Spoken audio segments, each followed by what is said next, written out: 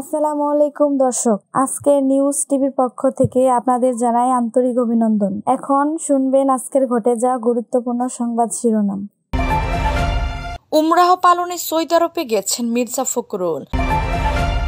উপজেলা নির্বাচনে মন্ত্রী এমপিদের প্রভাব, সংসদকে চিঠি দিবে ইসি। জবরদখল হটিয়ে জনগণের অধিকার, ফিরিয়ে আনা হবে। আনারুল ভাইয়ের মার্কায় ছাড়া আর কোনো মার্কায় ছিল মারতে দেয়া হবে না। সুজানগরের দুই চেয়ারম্যান প্রার্থীর সমর্থকদের সংঘর্ষ গুলি আহত পাঁচ।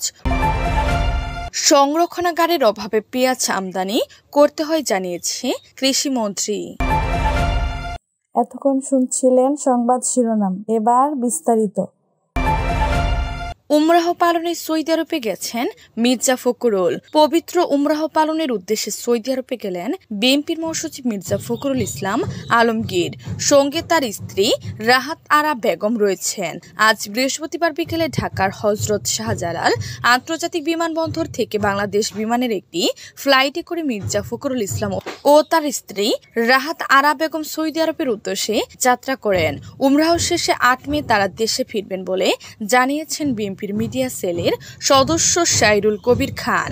গত মঙ্গলবার মির্জা ফখরুল ইসলাম প্রথম আলোকে বলেছিলেন, তিনি স্ত্রীক উমরাহ হজ পালনের সংকল্প করেছেন। দুই মে তারা ঢাকা ত্যাগ করবেন। দীর্ঘদিন ধরে মির্জা ফখরুল ইসলামের শরীর ভালো যাচ্ছে না। গত বছরের আঠাশ অক্টোবর ঢাকার মহাসমাবেশ সহিংসতাকে কেন্দ্র করে সাতাত্তর বছর বয়সী মির্জা ফখরুলকে গ্রেফতার করে পুলিশ। প্রায় সাড়ে তিন মাস কারাবাসের পর গত পনেরো ফেব্রুয়ারি তিনি জামিনে মুক্তি পান। এরপর চার মাস চিকিৎসার জন্য মির্জা ফখরুল স্ত্রী সিঙ্গাপুরে যান। উনিশ দিন পর তেইশ মার্চ তারা দেশে ফিরেন। বিএনপি ও মির্জা ফখরুলের পরিবারের সূত্র জানিয়েছে, তারা দুজনই নানা শারীরিক জটিলতায় ভুগছেন। এর মধ্যে দু সালে কারাবন্দী অবস্থায় মির্জা ফখরুল ইসলামের ঘাড়ে ইন্টারনাল ক্যারোটিড আর্টারিতে ব্লক ধরা পড়ে। সংসদকে চিঠি দেবে ইসি। উপজেলা কমিশনার মোহাম্মদ আলমগীর বলেছেন, উপজেলা পরিষদ নির্বাচন নিয়ে সংসদ সচিবালয়কে চিঠি দেবে নির্বাচন কমিশন ইসি সচিবালয়। ইসি কি ধরনের নির্বাচন চায়, সেটা ওখানে থাকবে।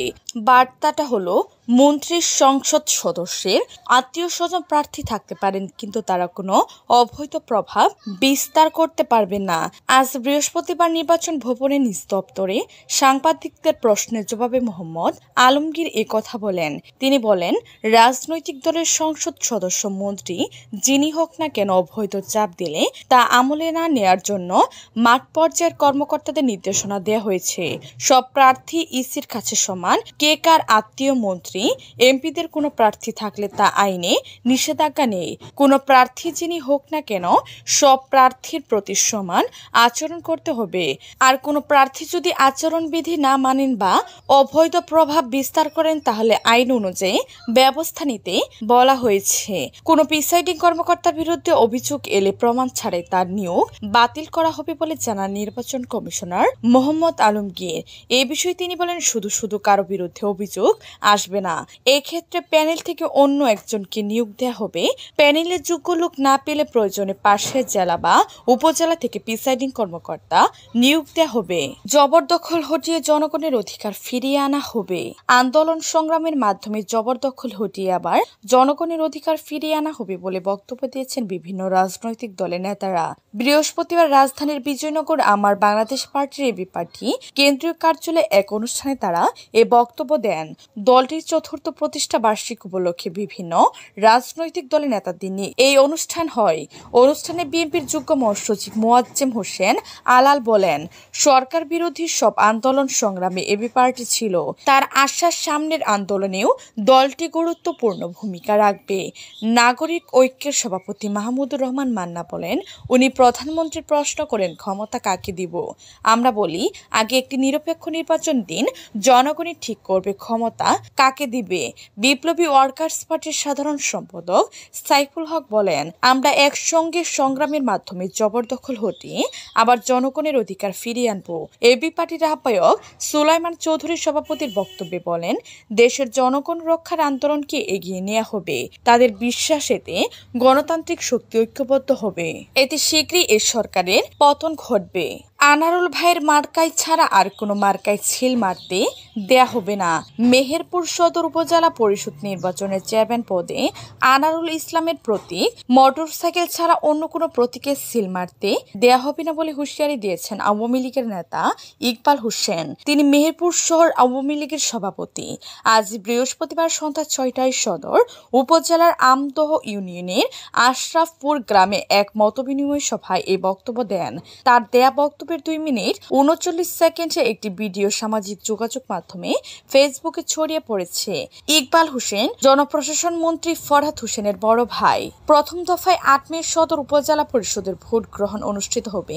এতে চেয়ারম্যান পদে জেলা কৃষক লীগের সহ সভাপতি হাসিম আলী, আনারস জেলা আওয়ামী লীগের যোগ্য সাধারণ সম্পাদক ইব্রাহিম শাহিন কাপিরেজ জেলা আওয়ামী লীগের সহ সভাপতি আব্দুল মান্নান ঘোড়া এবং আমদহ ইউনিয়ন পরিষদের সাবেক চেয়ারম্যান ও আওয়ামী লীগের সদস্য আনারুল ইসলাম মোটরসাইকেল প্রতিদ্বন্দ্বিতা করেন। মতবিনিময় সভায় আওয়ামী লীগ নেতা ইকবাল হোসেন বলেন, আনারুল ভাই একজন যোগ্য প্রার্থী।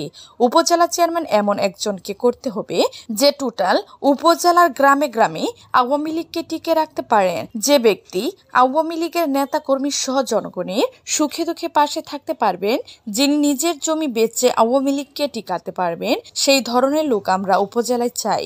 আনারুল ভাই ছাড়া এই ধরনের কোনো লোক নেই তার কোনো প্রার্থী নেই। সুজানগরে দুই চেয়ারম্যান প্রার্থীর সমর্থকদের সংঘর্ষ গুলি আহত পাঁচ। পাবনায় সুজানগর উপজেলায় দুই চেয়ারম্যান প্রার্থীর সমর্থকদের মধ্যে সংঘর্ষের ঘটনা ঘটেছে। এ সময় ঘটনাস্থলে গিয়ে পুলিশ হামলার শিকার হয়েছে। এ সময় দুইজন গুলিবৃত্ত সহ পাঁচজন আহত হয়েছেন।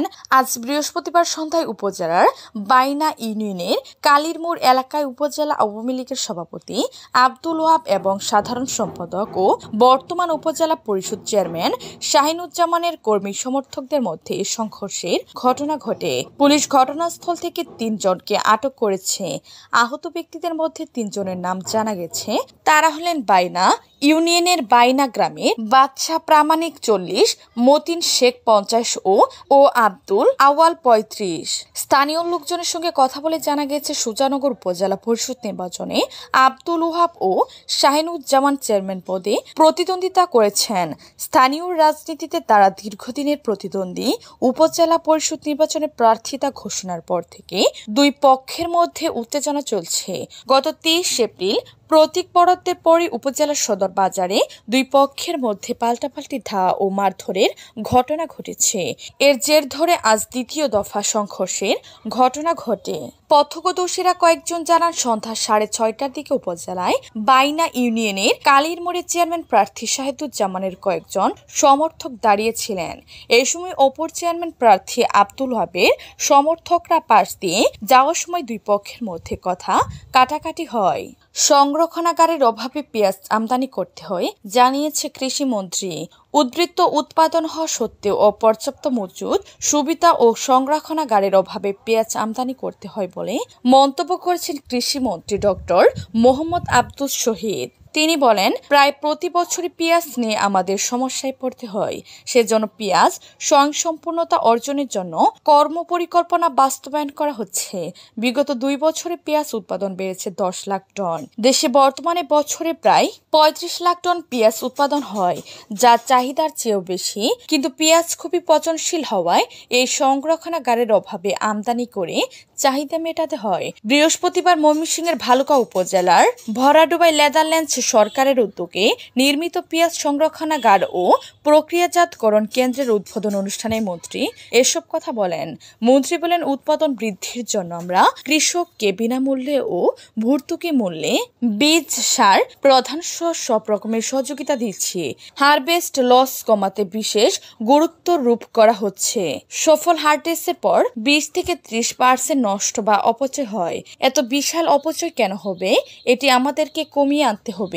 এই উদ্যোগ গ্রহণ করায় নেদারল্যান্ডস সরকারকে ধন্যবাদ জানিয়ে মন্ত্রী বলেন, এ ধরনের পেঁয়াজ সংরক্ষণাগার আমাদের দেশে কৃষক ও ভোক্তা উভয়ের জন্য খুবই উপকার।